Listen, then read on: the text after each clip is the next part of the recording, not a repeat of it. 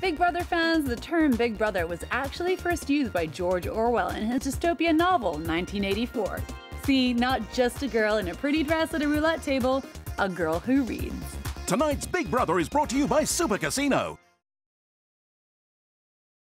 In the novel, Big Brother is a tyrant who suppresses original thought. In Orwell's book, every citizen is under constant surveillance by Big Brother. Orwell's Big Brother enjoys almost godlike status and wields total power.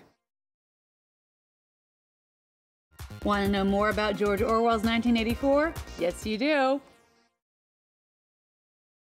George Orwell also wrote Down and Out in Paris and London and Animal Farm.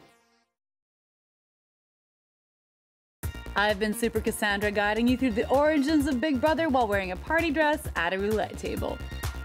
Tonight's Big Brother is brought to you by Super Casino.